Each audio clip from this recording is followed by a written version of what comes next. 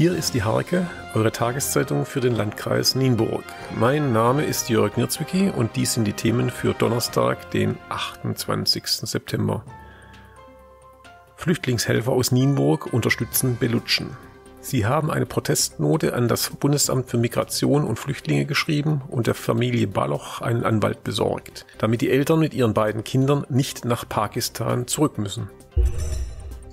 Gut zwei Monate vor Beginn der Adventszeit laufen die Planungen für den Adventszauber an der Nienburger Martinskirche bereits an. Das Grundkonzept samt Eisbahn soll bestehen bleiben, aber auch leichte Änderungen sind vorgesehen.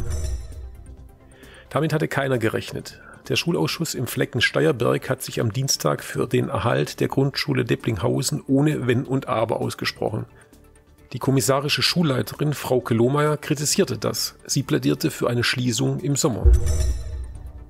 Der Bericht von Angelika Becker zur Lochfraßuntersuchung, an der auch der Wasserverband an der Fürse teilgenommen hatte, ist da.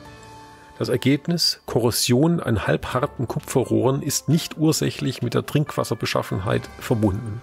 Zuspruch. Das dritte Voltigierturnier der RG Bücken-Wietzen wurde jetzt erstmalig als Kreismeisterschaft des Kreisreiterverbandes Nienburg für Nachwuchsgruppen, Duos und Einzelvoltigierer präsentiert.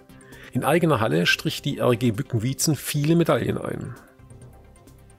Diese und viele weitere Themen lest ihr in der Harke am Donnerstag oder unter www.dieharke.de.